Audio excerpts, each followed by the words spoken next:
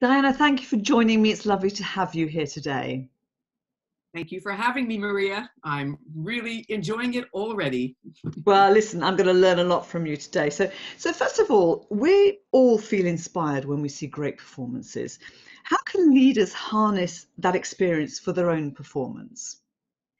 Well, you know, I think but when we see things that inspire us, we have to remember that what inspires us is also in us so we can actually do the very things that inspire us. So I think it comes down to really caring, really investing in what you're saying. So if some if you hear someone who inspires you, you think, what did they just do?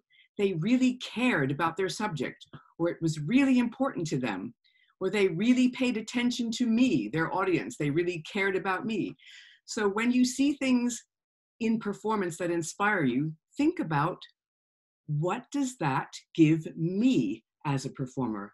What inspires me as an audience is in me, and I can do the same. Oh, that's wonderful. So if I see a brilliant performance, I've actually got it in me. I love that. So tell me, you say that we are both the audience and the performer. How's that possible? well, right now we're, be, we're being audience and performer. You're speaking and I'm listening, or sometimes I'm speaking and you're listening sometimes you're the doer and I'm the viewer, and the other way around. So we're always in this interesting contract. We're always both performing those two roles in everything we do. And so I think if we understand that we are always audience and performer, then we really understand that if we want to make an impact on someone else or on other people, it starts with the impact we make on ourselves my audience of one starts with me. Mm. What does that feel like for me? Okay.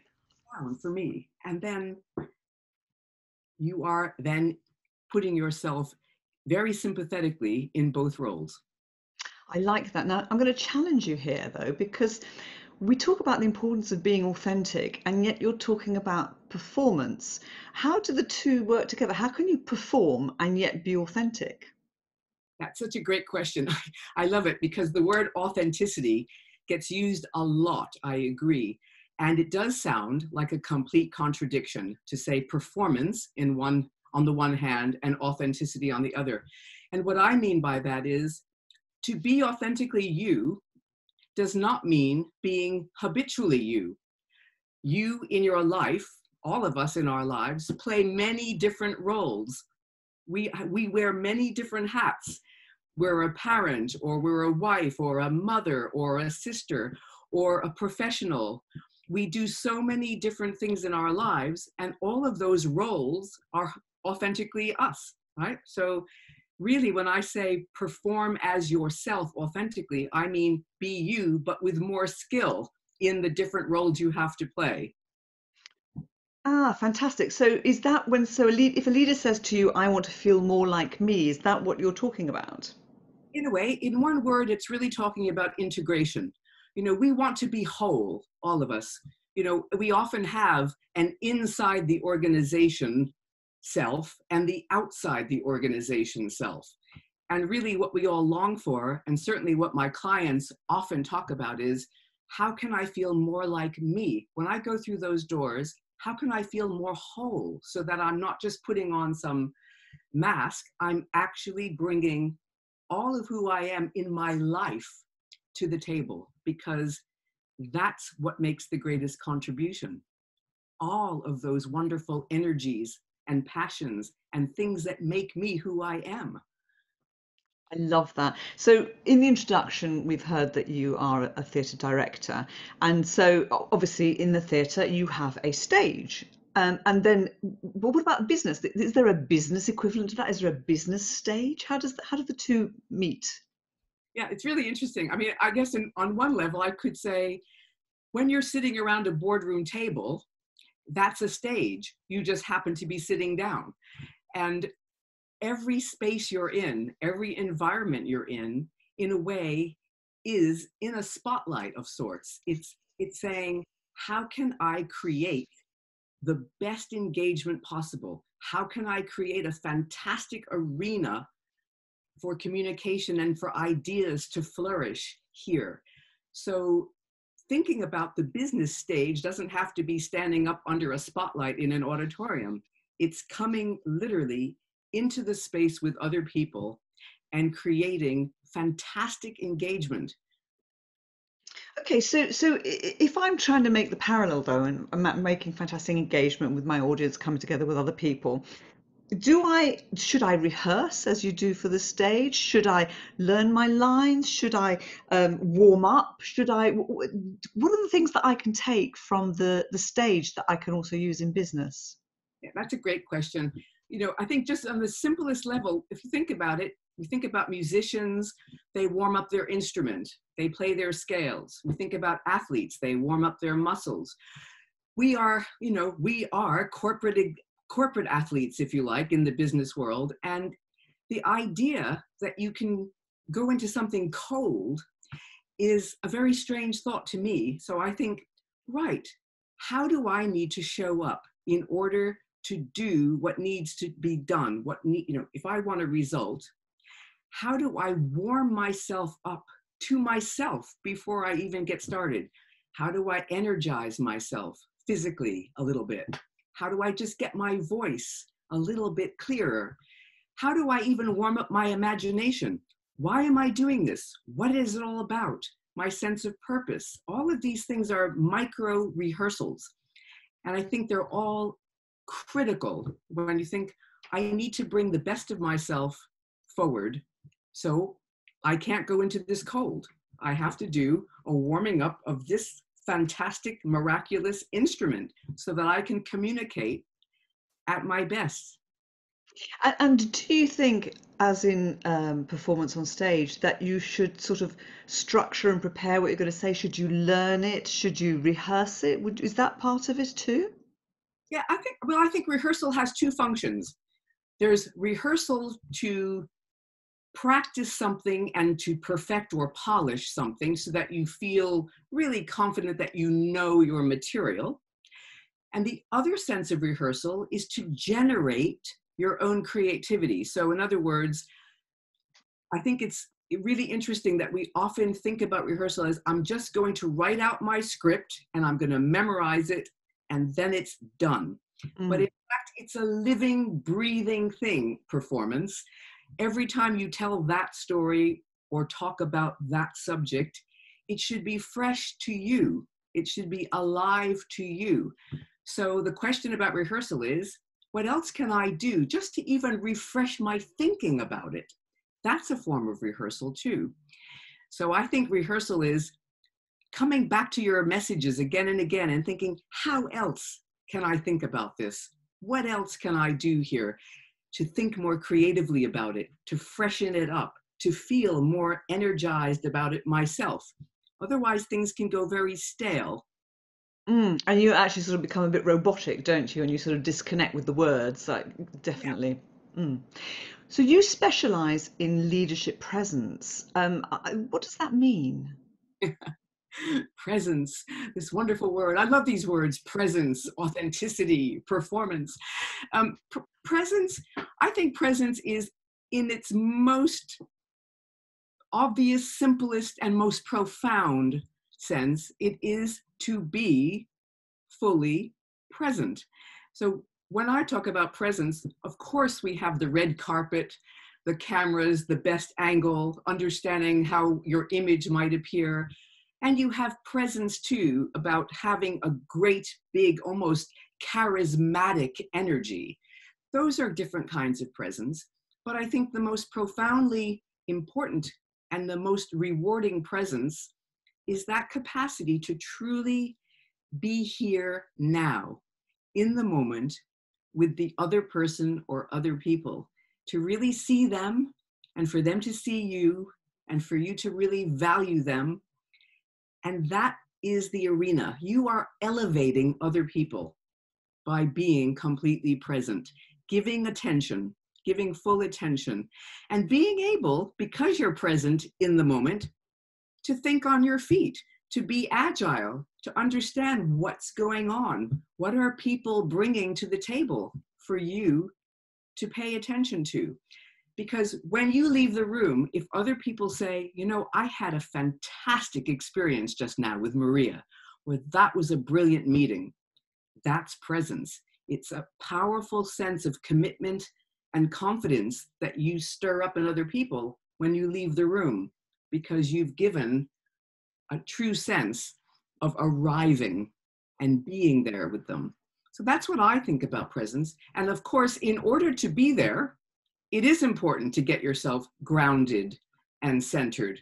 There is a little bit of physical work to do in your body. You can't come rushing into a meeting all anxious and transmitting nervous energy. You need to be grounded in order to hold the space for other people.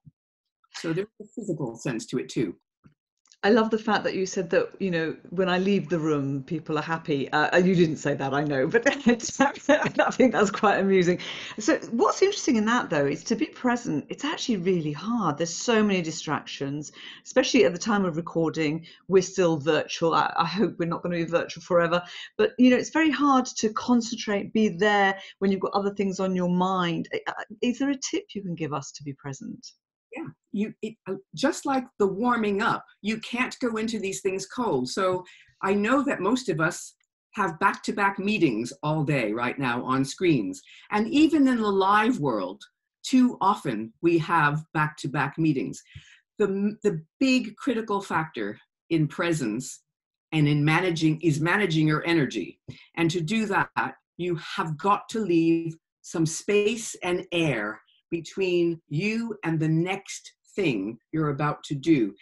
Even if it's 60 seconds, you have to take a moment, you have to stop, you have to take a breath, you have to connect to yourself. And then, even if it's just one thought, what am I about to do? So you carry intention with you. And it only takes 60 seconds, literally you can show up with full presence if you just do that. That's great. That's a really great tip. And I think you you need to disconnect, don't you, from the previous thing, center, as you say, and then be ready for the next one. The other thing you talk about with, with regards to presence that's really important is the life story. How how does that connect with presence? Mm, uh, um, for me, life story is an endlessly fascinating subject because obviously, when we think of our life story, it's huge. You know, we have many, many, many chapters that comprise our life story.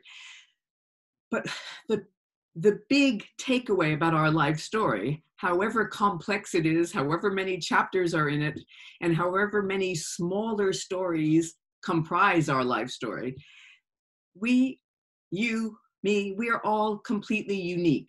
There is only one of you, Maria, in all time. And so you are the author of that story, and no one can tell that story as well as you can.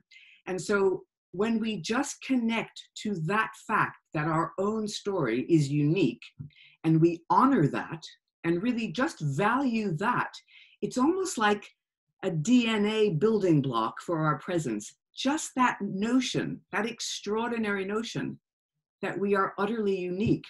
And if we just pay a little attention to our own story, and we think about it, my gosh, there are so many things that I have experienced in my life. And if I just tap into a few of those moments, I'll immediately surface insights and lessons and messages that give me meaning and purpose.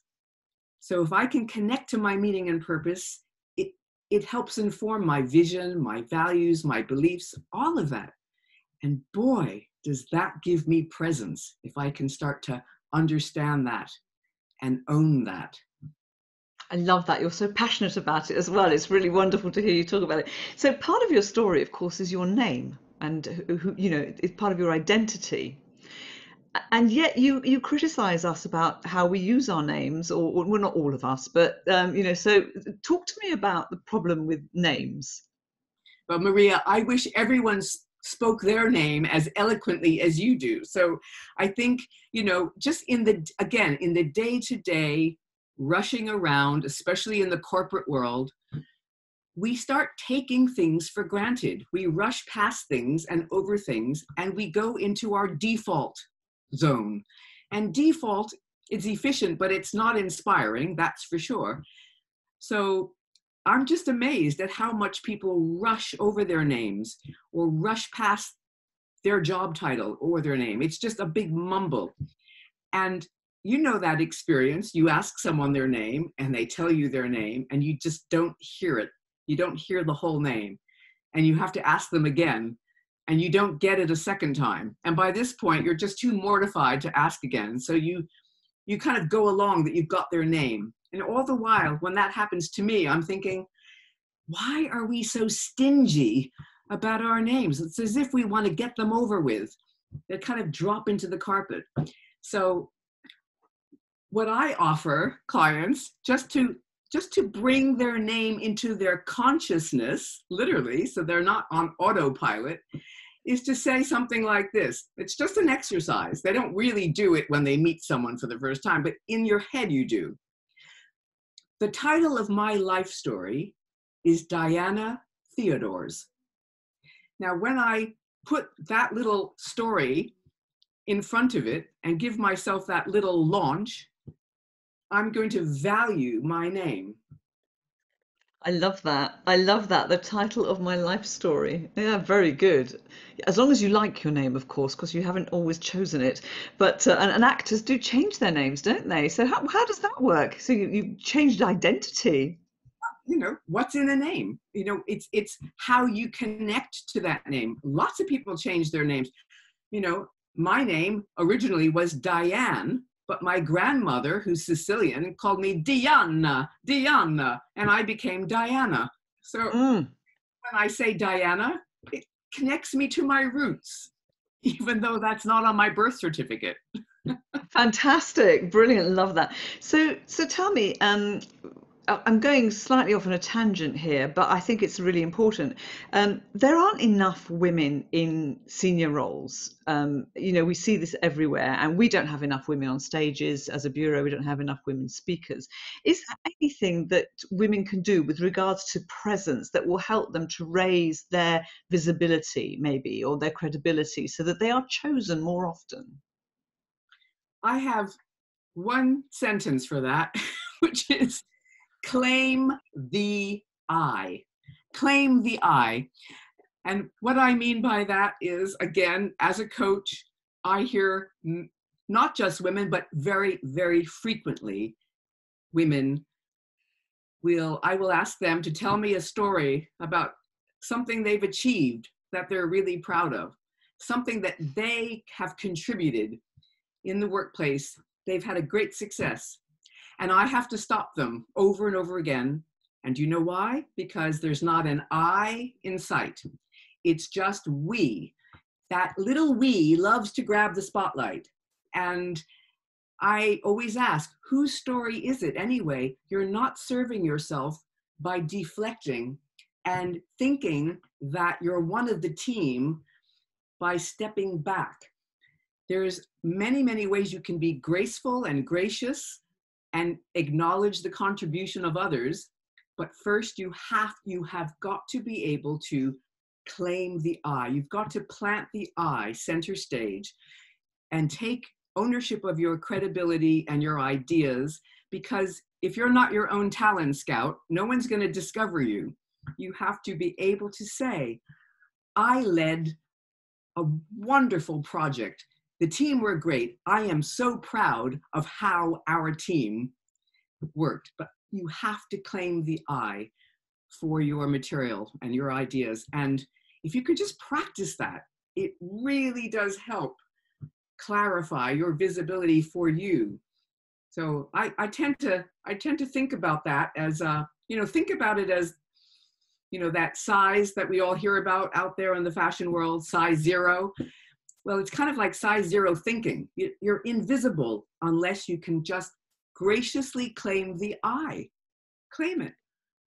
I love that. I love that. That is really good. And it's interesting that, you know, people who are very confident um, will use I a lot you know people who have strong strong confidence. And and it is it's true about women it's about other people more often than not. That is so powerful. So what about our environments and, and how they impact us? Uh, i mean that must have an effect on, on our presence and have an effect on our ability to you know to do all of these things. Can we have an impact on our environments as opposed to the other way around? Can we do that? Yes. The answer is yes. You know of course every time just think about it. Every time we go into some kind of physical space a meeting room whether it's virtual or live or whether it's a large space or a small space whatever it is straight away there's a question what needs to happen here in order to get the results that we want so for instance if i'm about to lead a meeting the purpose of which is to collect some creative thinking with the team. Well, what kind of environment would be conducive to that? I need to think about that. I need to figure out is there, you know, is there enough lighting? How are we sitting?